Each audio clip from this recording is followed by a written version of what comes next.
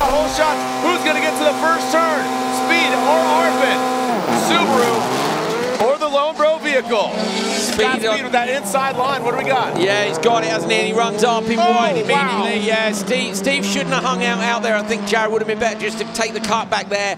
He went for the break as well, just as making the decision into the Joker or not. So Arpin's gone out. It's advantage speed, definitely. Yeah, you cannot make those mistakes against Scott Speed. Currently second in points. He just talked about just how comfortable he is on the tarmac, and Arpin just opening that door with that Hemp Fusion Loenbro vehicle. I think the inside line's looking better, isn't it? I'd be, I'd be very surprised if whoever wins qualifying picks the outside for pole. Whatever side they pick, though, everybody has to live within their finals from then on. So I'm, I'm expecting them to go inside. Look at speed, every inch of the sealed surface and, and, not a bit more. He's so accurate. Yeah, you can just see on the pavement the attitude of the vehicle, nosing down in the pavement, that front left, look at digging in.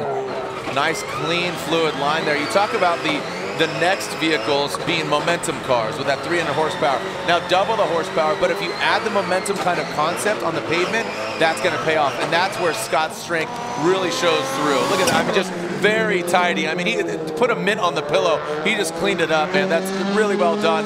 Arpin just not even part of the equation. 8.2 back at the minute for Steve. So Scott not going to go Joker on this lap either. So that means they're confident that they can do it on the last one. We had a great onboard with Scott just a moment ago. And uh, yeah, tidy job. Steve coming up now to take the gap jump, but he's a, he's a long way back. Yeah, Steve Arpin, that Hemp Fusion vehicle. Now, what for for those that don't know, what vehicle is Arpin driving? So he's, he's in a vehicle built by GRX, Gronholm RX, basically, but but it's run in conjunction with them. So you see the GRX on the on the on the front there, Loenbro. It's a Hyundai-based uh, supercar which has been used in the World Championship. So uh, yeah, great stuff. Steve Arpin, a fierce competitor. love his attitude. He's been racing a lot of dirt in conjunction with Nitro Rallycross. Will, uh, if you could update us on Steve Arpin, where's his head at? What's going on with him, Steve Arpin? Of getting ready to jump in his car here to go out for this bracket there. And I said to him, how tough is this going to be now to go up against Scott Speed? We know this is his kind of track. And he said, well, honestly, their biggest challenge with the car is they haven't raced yet on asphalt as far as kind of any turns go. He said we had a, a straightaway in Utah, but that's about it. So he described the car as a bit somewhat of a work in progress. He said they're working on sort of front and rear suspension. His description was the changes that they've made. He said they were kind of an eighth place car as far as speed goes. He said now they feel they're kind of a fifth place car. He said hopefully by the end of the weekend here, they'll be thinking they're kind of a fourth or third place car. So clearly leaps and bounds. Um, but these guys are just, you know, they're working on it. They're a bit of a learning curve here, and Steve might be a little bit frustrated with that mistake because he's not really going to get the chance to prove, you know, the progress that they're making right now.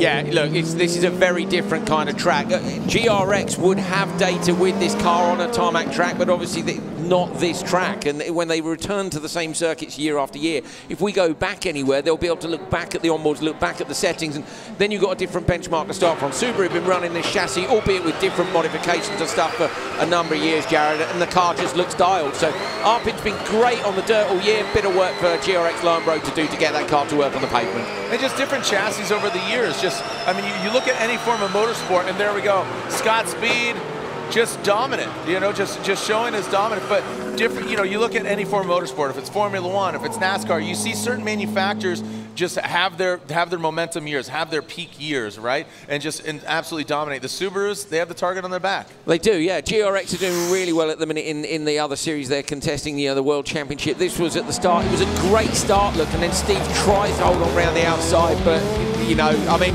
I'm interested to see what Steve says there. He might be like, oh, you know, Scott didn't give me any room, but Scott can't cut across the curb, and he is fully alongside Steve. So for me, that's Scott's piece of road, and Steve he's just trying it. He's trying it on. You know, he's got to try it on. He's got to, he's got to try for it, and then he really damage done. But he just lost time on each lap, Jared.